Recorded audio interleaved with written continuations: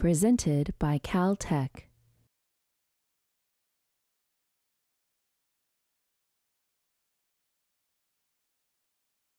So let's just jump right in to where we left off last time with a pretty nice example about diatomic molecules. And let me try and convince you that even in the most subatomic scales, oscillations form a very important part of how things work. So think about hydrogen, the molecule, right? So think about the diatomic molecule hydrogen.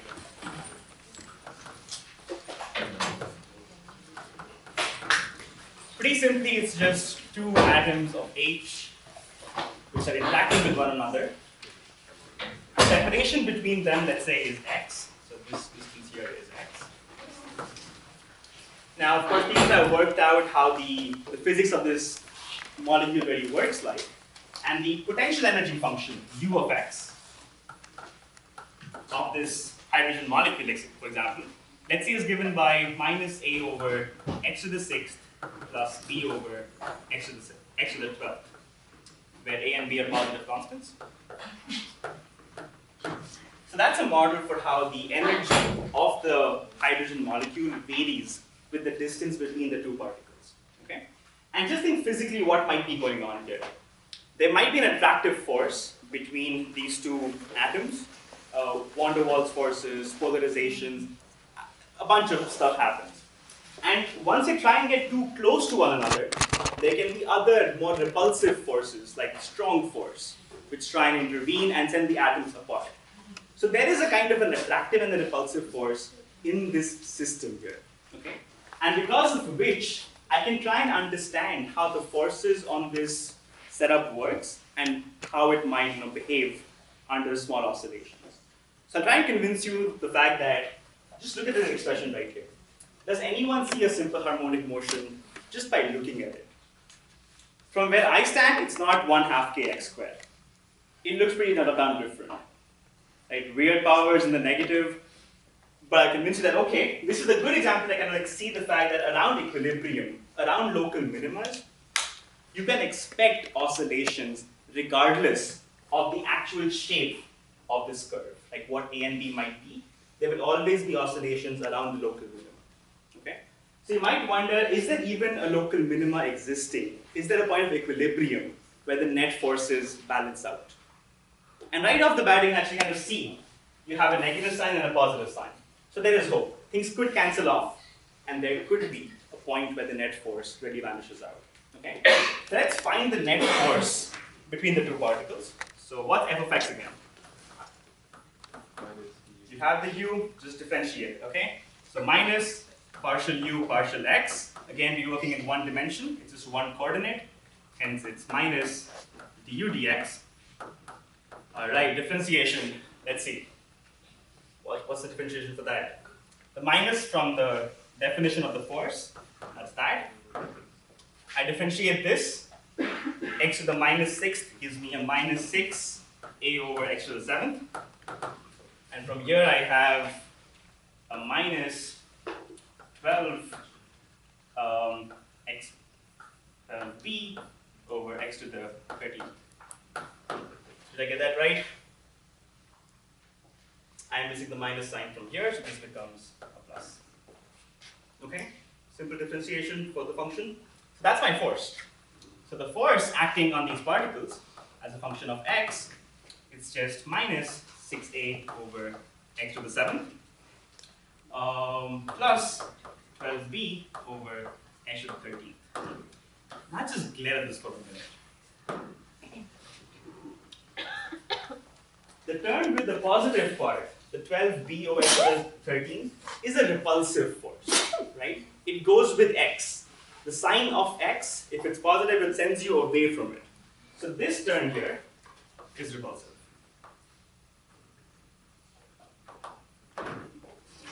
And this term here is attractive. Just, just look at it. It's so pretty, right? Something about the seventh power is so attractive about it. So the negative sign here is what makes this force attractive. It pulls you towards the two particles together. So this term here is an attractive force, and that's a repulsive force. So one can expect a certain location where these two forces cancel out, and there could be an equilibrium where the, where the, where the net force on the particle vanishes. The takeaway from all of this stuff is going to be there is a logic to be followed. In any problem, first find the point of equilibrium. That's your starting point. That's where the money is. About the equilibrium points, things when they oscillate, they show, they, they show simple harmonic motion. Okay? So I have the force. I want to find the equilibrium point. So what do I do? I put the board down. Uh, this classroom is not the best design, I think, because the boards get blocked up all the way. So I'll, I'll try my best not to interfere, but we'll see how that goes. Okay, so equilibrium.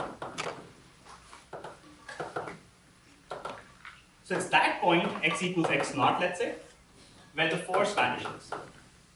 Okay, the net force is zero. I have an expression, just plug it back, what do you get? This is minus 6a over x naught to the 7th plus 12b over x naught to the 13th. This is only at equilibrium.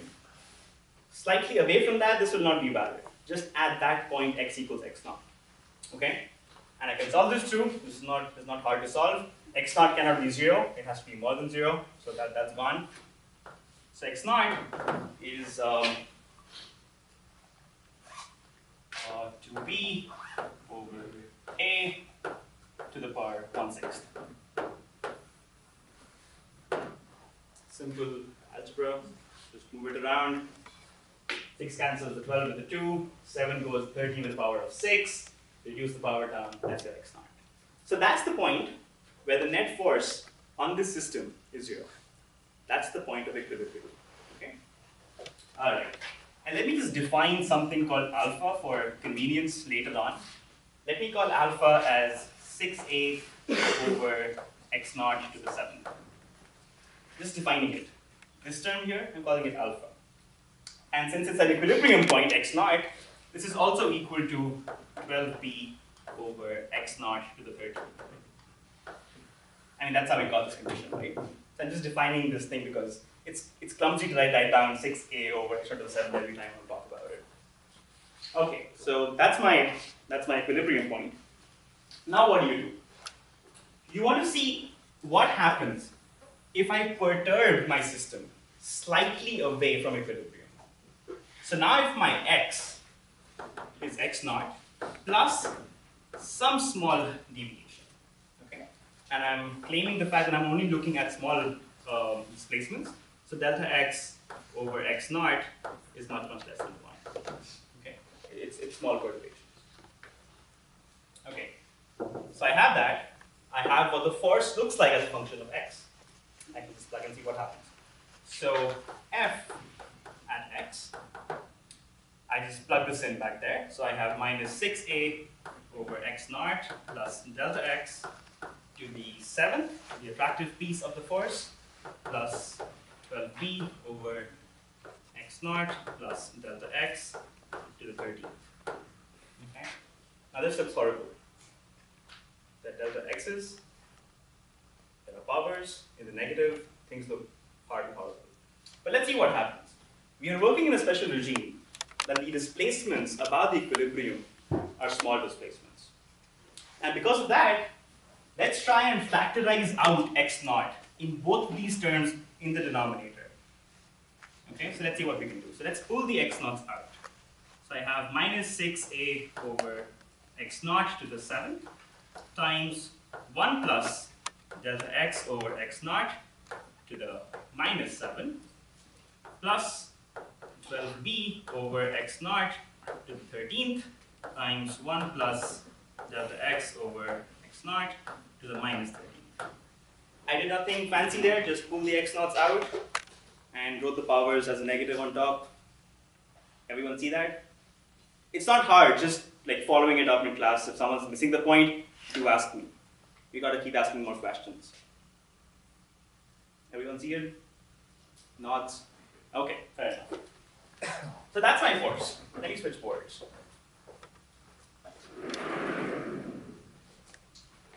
Now just look at the form of these two parenthetical, parenthetical terms. 1 plus delta x over x naught to some power. And I'm claiming the fact that I'm looking only for small displacements. Hence, delta x over x naught is much, much less than 1. And therefore, I can binomial expand or Taylor expand these two bracket terms. Okay? So remember, 1 plus a small number to the power n is 1 plus n times a small number plus n times n minus 1 small number squared over 2 factorials, yada, yada, yada. Ring a bell? Okay, so let's get the force again. So f of x is now approximately, because I'm binomial expanding out my, my bracket terms, is minus 6a over x naught to the 7th. So 1 plus the small quantity to the minus 7 till first order is 1 minus 7 times that number. Question? Okay. So this is 1 minus 7 delta x over x naught. Then the higher terms, which I'm neglecting because delta x over x naught is less than 1, and plus 12b over x naught to the 13th, 1 minus 13 delta x over x naught. Does everyone see that? I did a binomial expansion there, and plus I truncated my terms to first order.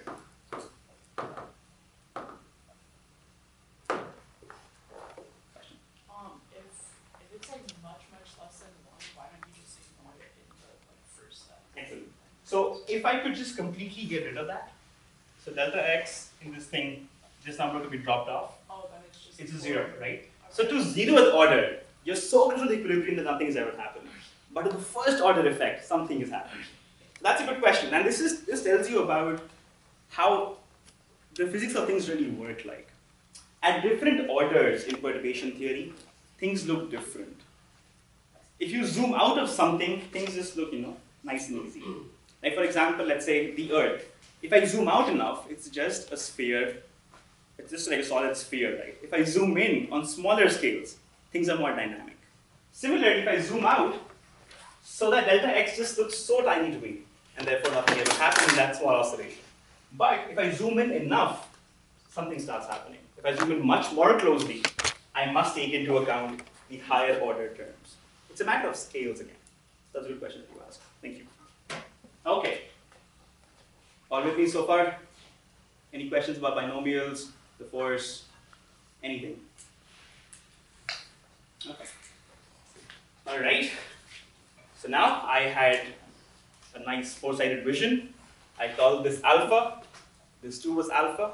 So now we can you know, have a much more compact form of the equation. This is alpha is common on both sides because this is alpha and this is alpha from the equilibrium condition.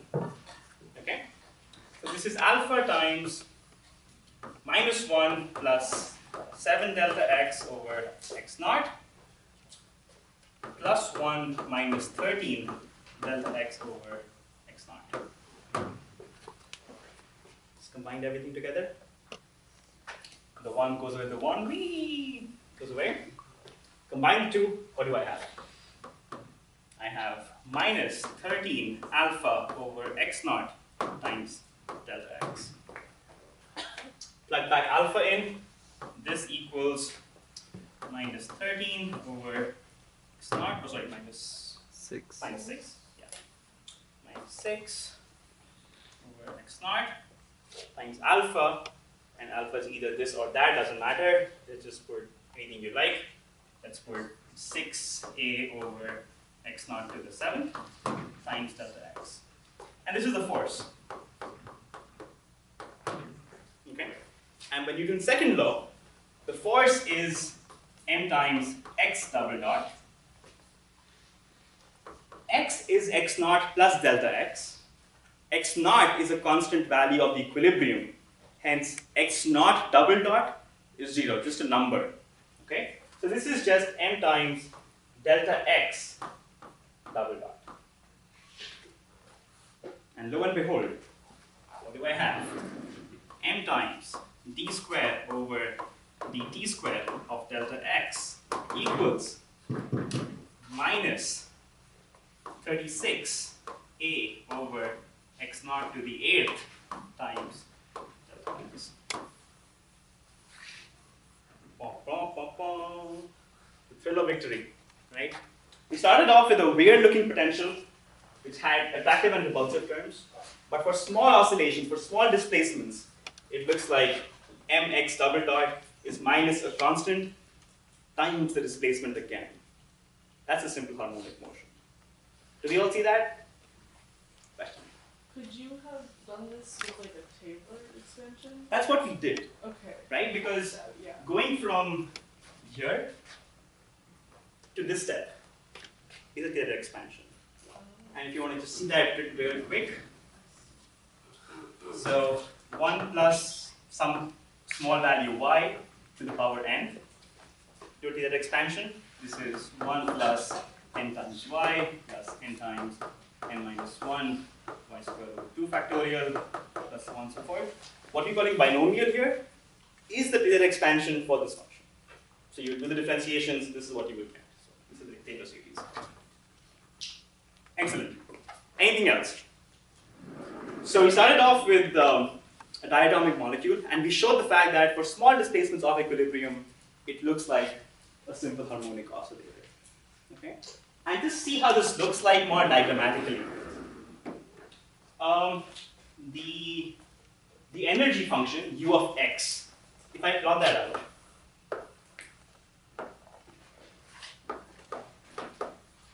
it again has these two pieces, the attractive and the repulsive part. The attractive part is the one with the A, repulsive one is the one with the B. The attractive part is always negative. Okay, so the attractive, maybe I should. I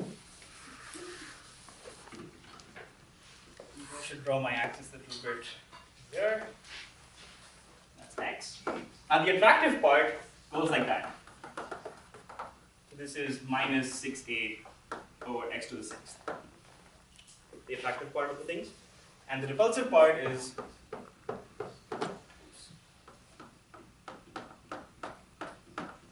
this is the repulsive version, so this is 12b over x to the 7. We can all see that. Okay, as x goes to 0, they both blow up in the opposite directions. When you add these two together, you get a curve something like that. And if you've taken some form of chemistry in some class, I am sure you've seen this curve before. Right? So this is the point of equilibrium that we're talking about. This is the point x naught, where the tangent to the u of x curve is, zero. It's, it's a horizontal tangent. And therefore the net force at this point is balanced out. Attractive and repulsive forces is balanced. And the magic again. The curve looks bizarre, but around this point, if you look closely enough, take your microscope, take a zoom in lens, just, just go real close, you know, you know what I mean? And what you find is it looks like a parabolic thing.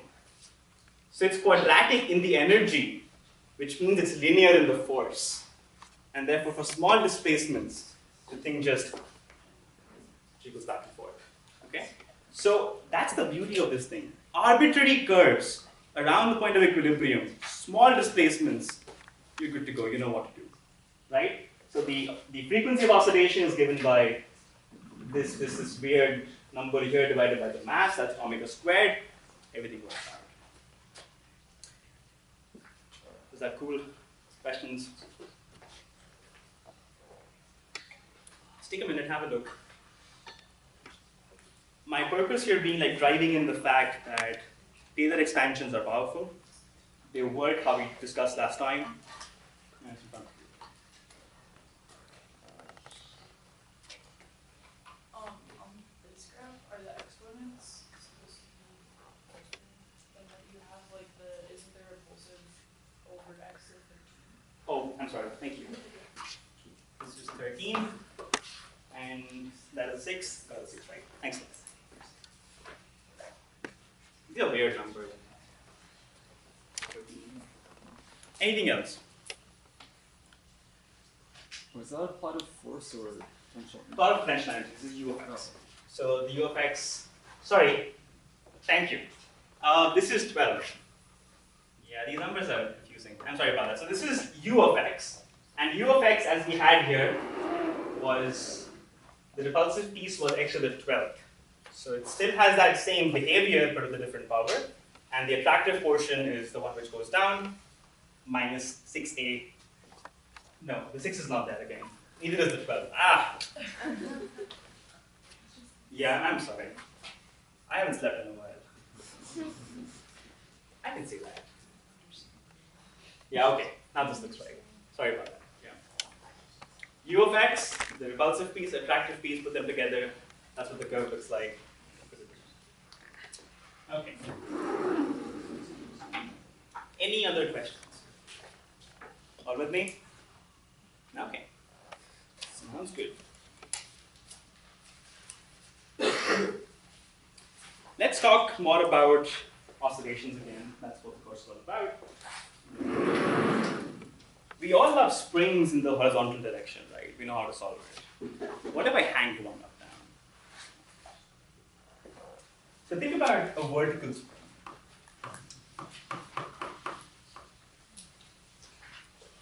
Now the spring is massless. There is no friction in the spring. There is no resilience. I mean, the whole the whole shebang of uh, the good approximations. Okay, it's an ideal spring. Its equilibrium length is L naught, and the spring constant is K. Okay, again, the K, in a more physics perspective, links back to the curvature of the u of x function, which defines that spring. It's a new problem. It's not the diatomic molecule, but whatever u of x defines the spring, its double derivative is the is the k. So the spring is just chilling. It's just hanging there, not extended, not compressed, living the good life. Okay. That's equilibrium length of the spring. Now I come around and hang a mass on this spring vertically. So what I do is A mass. So of course it gets a little extended, gets pulled down, and then once I slowly just leave it, it'll come to a halt again at a certain extension, right? It extends, there's a spring force pulling you up, gravity pulling you down. The equilibrium point with this mass on is something larger than L naught, okay? Let's see what that is. So let's say the spring extended by a distance x naught. Okay? Again, find the equilibrium points before you do anything else. That's where the money is. Around that point, the oscillations really happen. Okay? Not just about x, it's about the equilibrium point. So at equilibrium,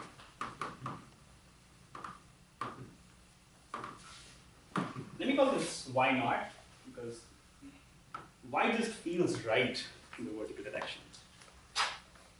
Okay, at equilibrium, what are my forces? mg on the mass pointing downwards. What's the spring force? It's upwards. How much is it? K times L naught or X naught? L naught plus X naught. Why not? Thank you. that was a trick question. Okay, so at equilibrium, the net forces have to vanish out, and therefore gravity is balanced by the spring force. Spring force depends only on the extension of the spring, which is y naught. y naught, right? K times y naught, and this must vanish. So at equilibrium, mg equals k times y naught.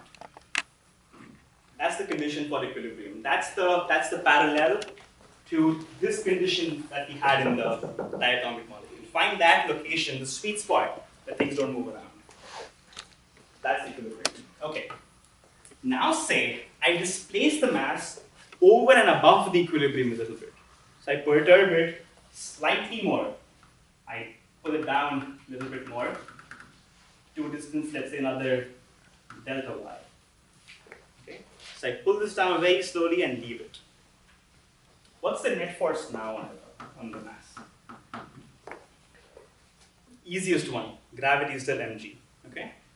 mg still points down. What about the spring force? I extended the spring a little bit more, still extended, pulls me upwards. So a minus compared to the gravitational direction of the force, k times what length should enter here? Y naught or delta y? Plus. Excellent. So y naught plus delta y is the extension of this new perturbed configuration over the equilibrium. Hence that's what I get. Okay. Again, this looks horrible.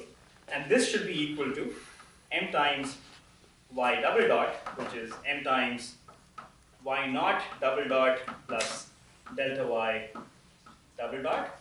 Don't be bothered, you know, with these delta something double not double dots. Delta y is just another variable. Call it alpha, beta, theta, Ashmeet, your name, no one cares.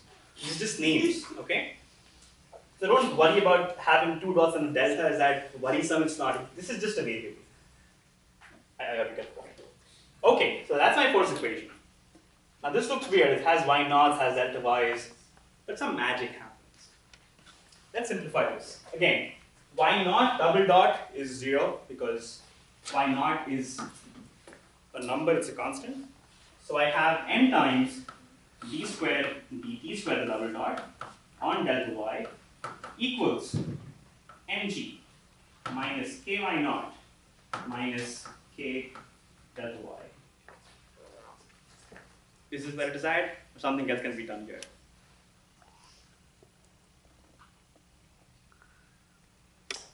We all okay with this?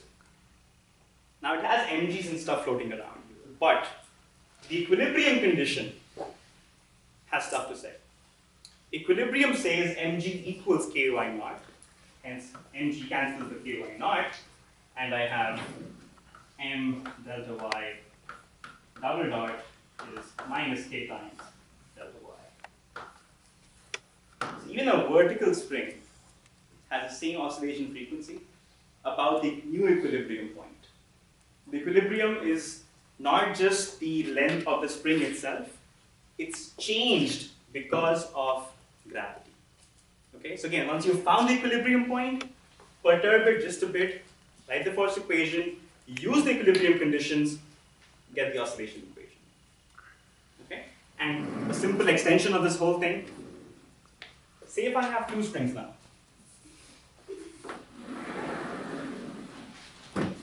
Say I have two springs in the vertical, uh, K1 and K2 as a spring constants. I hang a mass M with them. What's the effective spring constant of these two? Just add them up, right? Should be easy to see because from here, I'm just adding another force from the second spring. So everything just has this extra K1 and a K2. Things just add up.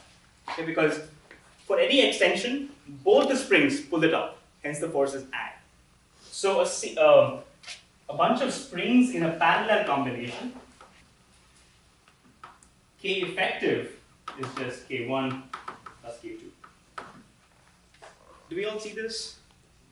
I kind of like glossed over the work. I'm a lazy guy, but I hope you see the connections. That two springs, two forces add up. Okay?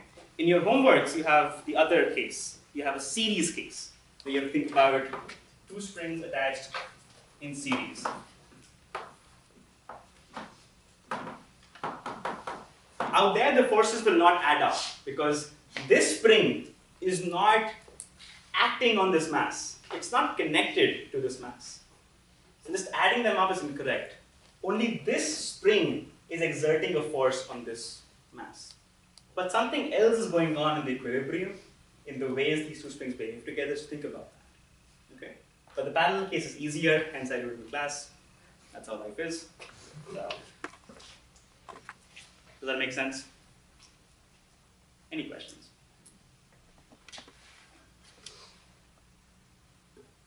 Seriously, this is like an AMA. Ask me anything. Hopefully physics.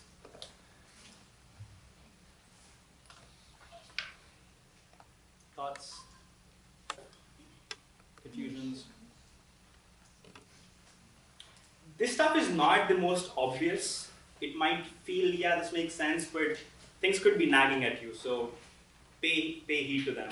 Speak it out, and it's good to you ask questions.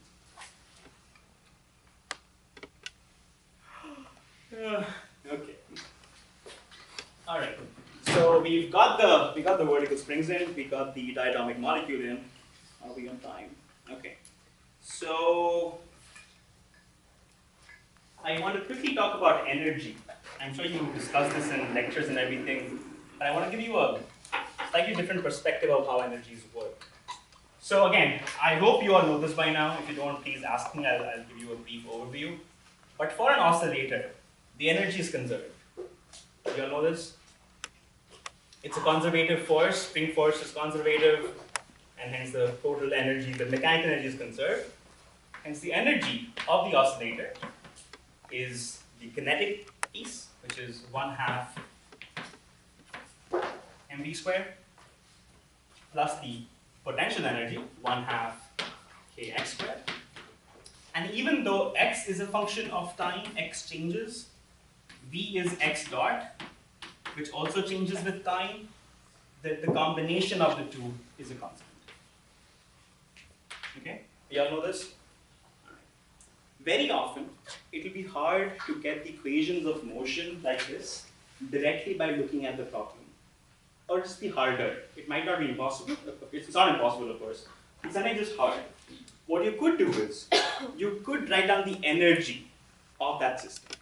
Think about some configuration, like some displacement x, and write this piece down. Just write this down. Okay?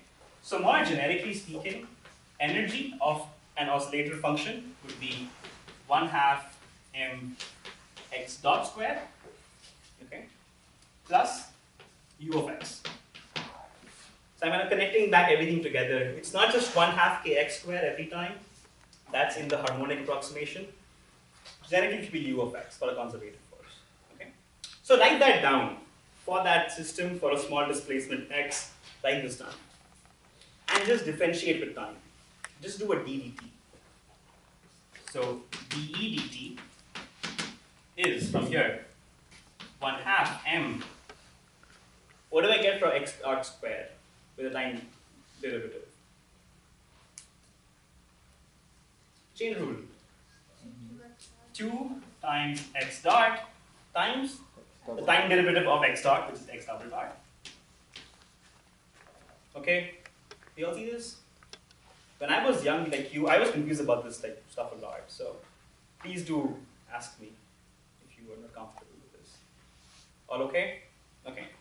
Plus ddt of u of x. Okay? What's dE dt? Why energy is conserved, it's a constant, hence this thing vanishes. So this is 0 equals mx dot x double dot from the kinetic piece. Let me change variables. ddt of u of x, I can write this down as du of x over dx times dx over dt. I just multiply divided by dx dx. Okay, again, this is, it's not completely legal in the right circles, but again, we chilled out people, we can, we can live with this for now. Okay? What's dx dt? x dot. So I have a 0 equals m x dot x double dot plus du dx. I can see some, ah, some things are familiar now. du dx times x dot. This whole thing equals 0. You're looking for solutions, hence x dot will not be 0. I cancel it off. And what do I find? m x double dot equals minus du dx.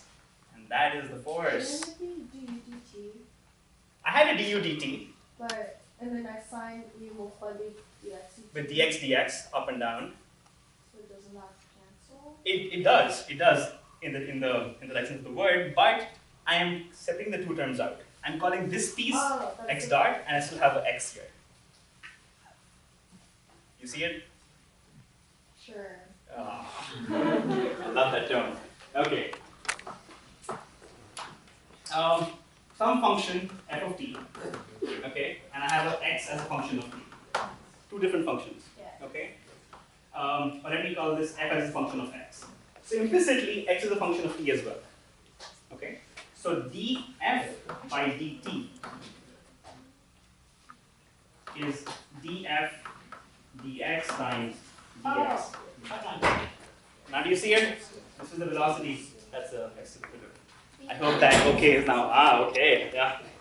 All right, so this thing, which is just the force, and from the energy, by doing a time differential, I can get the equations of motion now.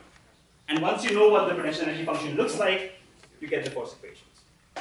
So remember how in high school you had these problems about I start here, I drop the ball, something happens, find something something at another point. You would conserve energy, write the energy here, write the energy there, equate and solve for the unknowns.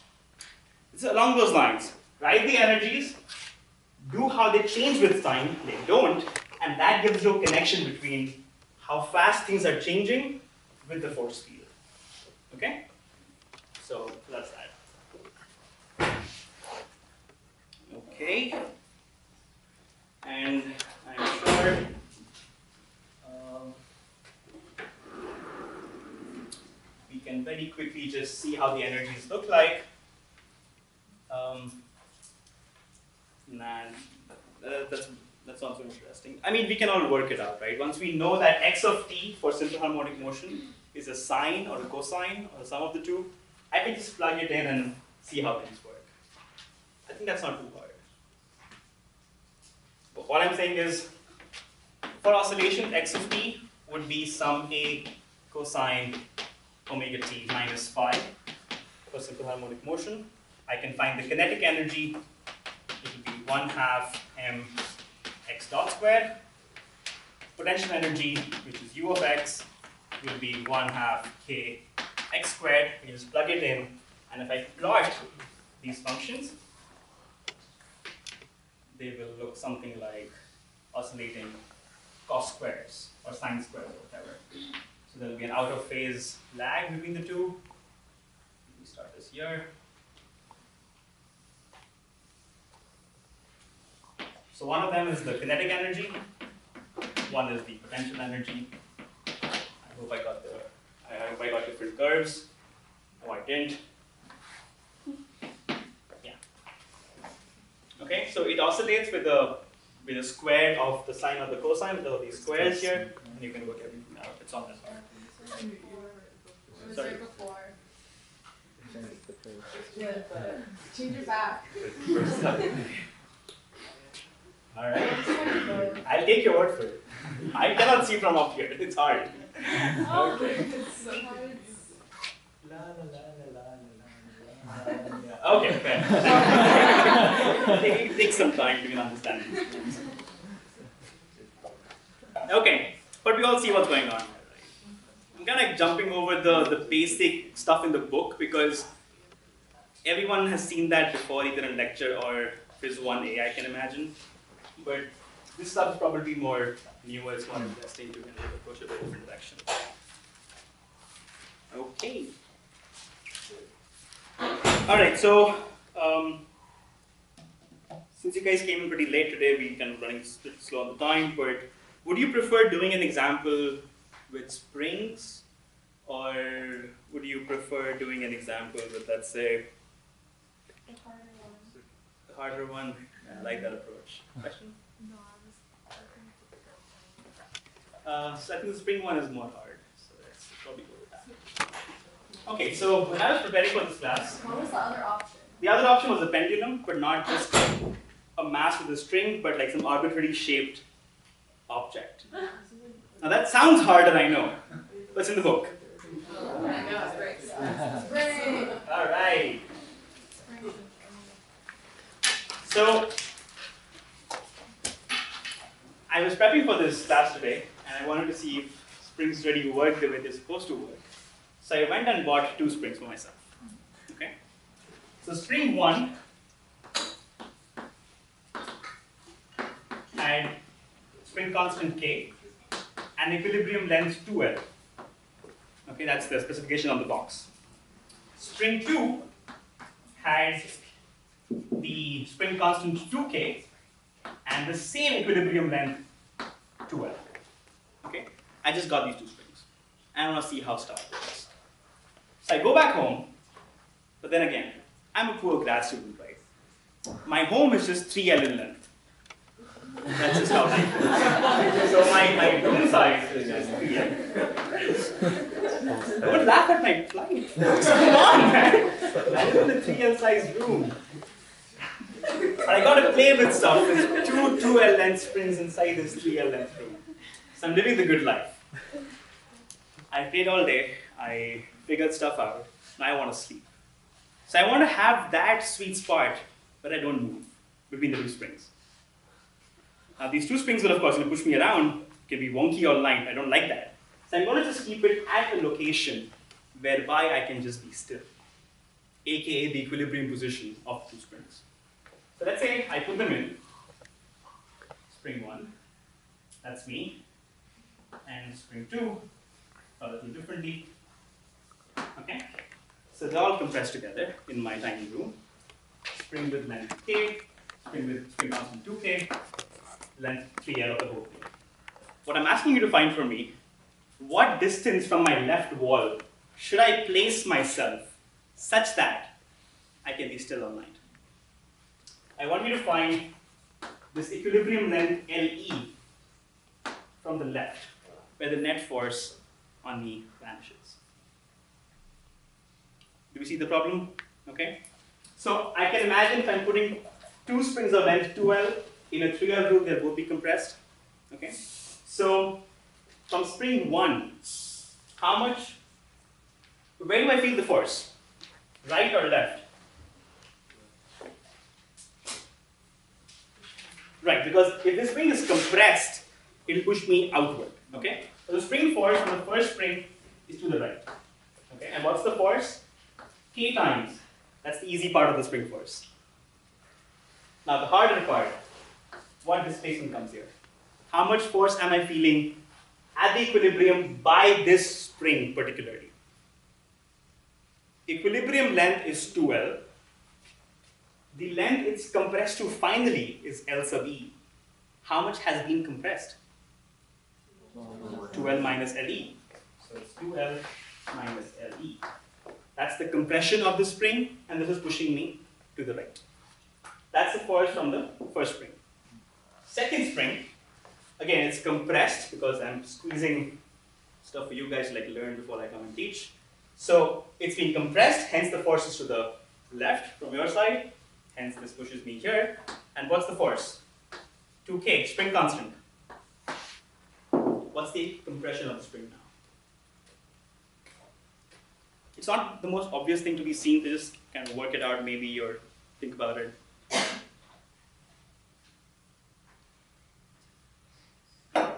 Equilibrium length is 2L. So compression has to be equilibrium length minus the actual length of whatever. Okay? So it's 2L is the equilibrium length. What's the actual length of the spring after being compressed? 3L minus. So the compression is 2L minus 3L minus L. Okay? And at equilibrium, these two balance out. So at that point, I am just hanging in there, living the good life. I can solve for this. It's not hard to solve, right? So when I was in that spot last night, I solved it, and I got a value L sub E was 4 thirds of L. For sake of time, I'm not doing this in class, it's just algebra. Okay, so that's the length from the left side that the two forces balance out. Okay. Now, I cannot sleep. It's too still. It's at equilibrium. I cannot move. So now my question is, if I move slightly, at what frequency does the spring rock all night? So I perturb myself slightly by delta x. Let's call x. So I perturb this further by x, okay, above the equilibrium. Now, often people ask me the question over the years, how do I know is the spring compressed? Is the spring extended? How do I work with the sign? The signs bug everyone. Is it a minus? Is it a plus? This side, that side. If I put the sign in, do I put the direction separately or not? Things like that. Trust the math. Take a case. Think of a case. assume that, okay, spring one is, let's say, compressed. Think on those lines, and then under that assumption, work everything out. The math will do the talking. If you assume something, and the final answer is negative of that, you get the opposite case. So don't be scared in assuming something and working everything out consistently after that. So let's say I perturb it by x. Now if I put up by x, spring 2 is getting further compressed. So this is definitely compressed spring 2. But depending on how large x is, spring 1 could either still be compressed or be extended. Okay? So can anyone just see how much I need to extend it to start extending it? The 2L minus LE is this compression. So if I overcome this compression by x, I can start extending the spring over its equilibrium length. Okay? So if you work it out, just put this back in, what you find is that if x is less than 2L over 3, spring 1 is also compressed. So spring 1 is compressed, and if x is more than 2L over 3, spring 1 is extended. When I say extended, I mean above the equilibrium length 2L. Now let's just assume one case. It could be either, depending on how large x is. Let's assume for now that spring 1 is compressed. So I take the case, I assume that spring 1 is compressed. Okay? Now, what are my net forces? What's F? What's the spring force from the spring 1? It's pointing in the which direction? I'm assuming it's compressed. So if it's compressed, it's pushing me outwards to the right. So I take the right to be positive by convention, plus k times. Now what's the new compression? 2L equilibrium length minus the actual length of the spring, which is LE plus X. So this is 2L minus LE plus X. That's the force on the first spring slightly perturbed around the equilibrium point. The second spring gets further compressed, hence the force is to the left from your, from your perspective, hence a minus 2K. What's the compression now? 2L was the equilibrium length. What's the actual length of the spring now? Spring 2. 3L, 3L minus LE minus X. So it's 3L minus LE minus X. Okay?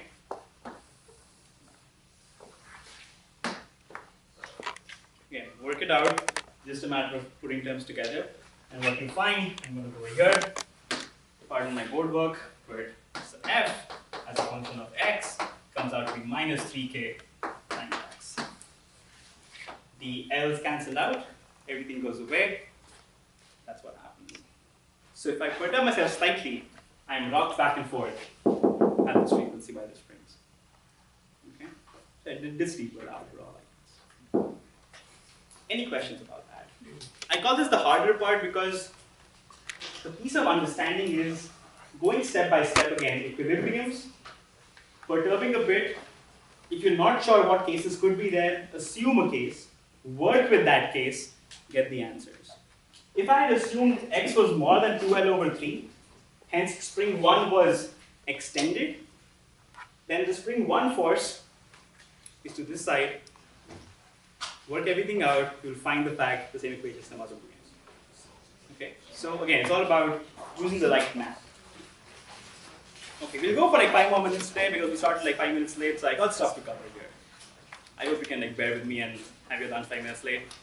Thank you. Okay. Any questions about this stuff? It'll be worth seeing like five minutes. I have a pretty cool thing to, you know, to show you over the next uh, few minutes. So, so far it's all been about one-dimensional motion. Okay? Say if I go for a particle which moves in two dimensions. So I have my position vector r given by x and y, two coordinates in a two-dimensional plane. And say they both obey simple harmonic motion. So x as a function of time, is a1 cosine omega 1t minus phi 1, let's say, and y of t is a2 cosine omega 2t minus phi 2. So both the x and y are oscillating. Think about you know a pendulum hanging and I let it go around like that. It's, both motions are, are periodic and simple harmonic. And depending on the interplay between omega 1, and omega 2, the frequencies of these two perpendicular motions, and the relative phases, a bunch of cool stuff happens. And maybe we can just quickly show you that cool stuff.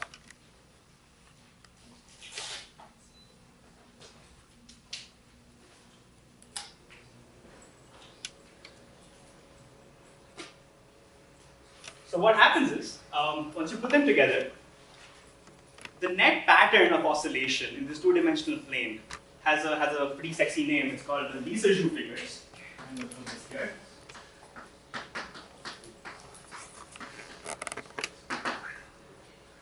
So we start off with the case where the two frequencies, horizontal and vertical frequencies, are equal. They are 1. And the relative phase, phi 1 minus phi 2, is 0. And it's too bright, but yeah, like the sun. In that case, x and y are just proportional to one another, right? Because omega 1 equals omega 2, phi 1, phi 2 is just the difference of 0, hence it's just a straight line. Okay? Now see what happens when I try and change the, the connection between omega 1 and omega 2, the vertical and the horizontal frequency, if I shift them. So simple harmonic motion in one dimension was just sines and cosines. Very simple stuff, very bland stuff. The moment I start changing my frequency, let's see the phase first. The relative phase between phi 1 and phi 2. Stuff starts to happen. Depending on what the relative phase is, either you get a net circle moving, you have a line, you have an ellipse, ellipsoid, different orientations. And these things, these orientations, why I mention this right now,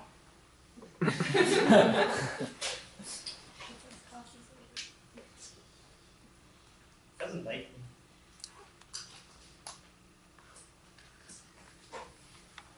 Yeah, I don't know. What, what, wrong?